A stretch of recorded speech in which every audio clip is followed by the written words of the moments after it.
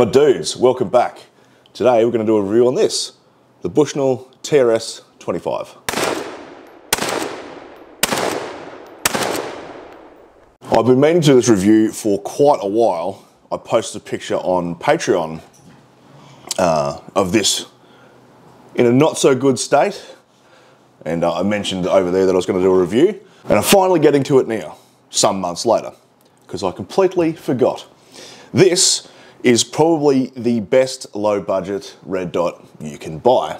A friend of mine, Michael, bought this for $120 at the local gun shop.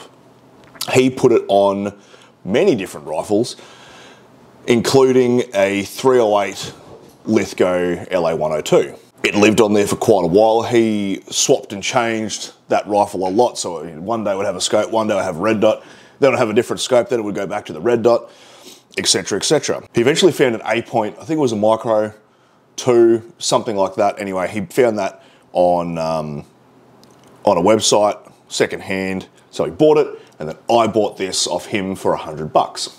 I then had it on my 308 for quite a while, um, and I also had it on a 7615, and I also had it on my Adler B220. I then lent it to my mate Pete, and he put it on a Marlin 336 3030.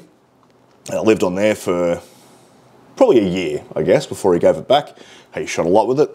I got it back, and then I put it back onto my Adler, but onto my rifled barrel to do some testing.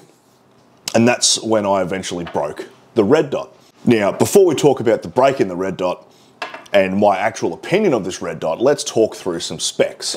It's a closed reflex style, which means that well, it's not an open reflex, is it? We've got about 70 MOA of adjustment. It's a red dot, obviously. It's a 20 mm objective lens through the front there. Now, a lot of red dots, um, particularly these days, more and more red dots are coming out with a bigger objective lens. Um, and that just means it, it's easier to not occlude your target with the housing of the reflex or the housing of the, of the sight itself. Now, we'll, we'll circle back into that point a little bit later, but in short, uh, sometimes the amount of crap around this can occlude your target a bit, even when shooting two eye open. Its minimum parallax distance is 50 yards, so that's about, what, 43 metres or so, 42 metres, something like that. Um, it has 11 brightness settings. It goes all the way up to 11.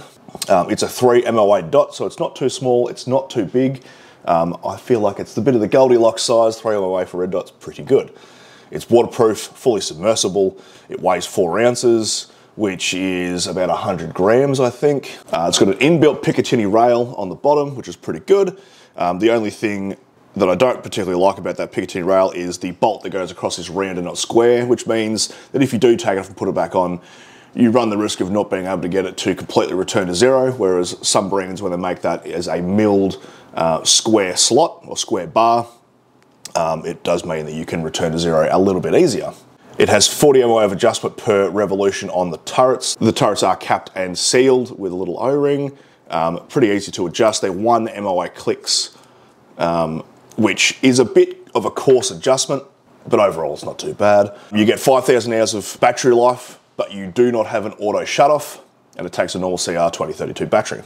The things I didn't like about this was, as I touched on briefly before, because of where the battery compartment is, um, it can be a bit of a pain in the ass and just sort of get in the way of looking at things. Now, if you do shoot two eye open like you're supposed to, it's not really much of a drama because it sort of just blurs away anyway. However, yeah, I just would like the housing to be a little bit smaller. The battery life is a bit poo, particularly if you forget and leave it on because it doesn't have that auto shut off. I had to replace a fair few batteries in this just purely because I'd you know leave it on accidentally. You'd take it out of the safe, you go hunting, you turn it on, you forget, you leave it on, you put it back in the safe, you pull it back out, you take it back out hunting again, you don't have a red dot.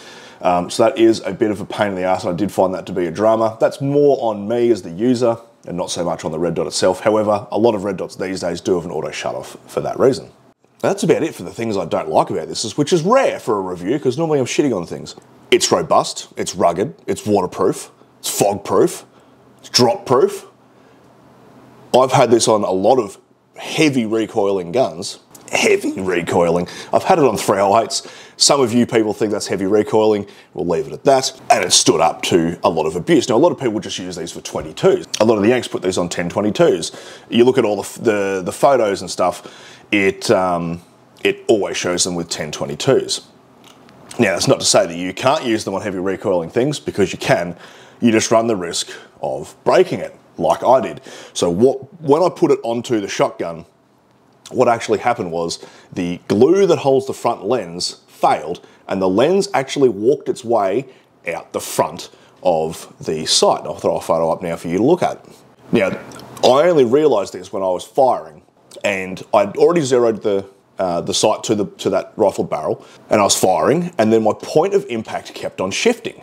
So it would shift, then I'd make an aim off correction and I'd fire and that point of impact would shift again. I was like, what the bloody hell is going on? I fired probably 10 shells. Now I'm firing um, a 7 8 ounce slug out of this, mind you, with 30 grains of powder.